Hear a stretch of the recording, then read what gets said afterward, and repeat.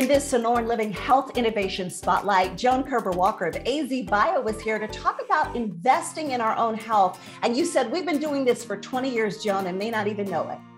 Absolutely. Every time you buy something in Arizona, a tiny fraction of your sales tax goes to the Technology Research Initiative Fund. And that fund is what we use to attract world class researchers to our universities and our students get to work with them, and they're working on cures and treatments that will help Arizonans today and for generations to come. It's a really smart investment. Yes, it is. And if you would like more information about AZ Bio and their advances, go to azbio.org slash azadvances. This Sonoran Living Health Innovation Spotlight was paid for by AZ Bio.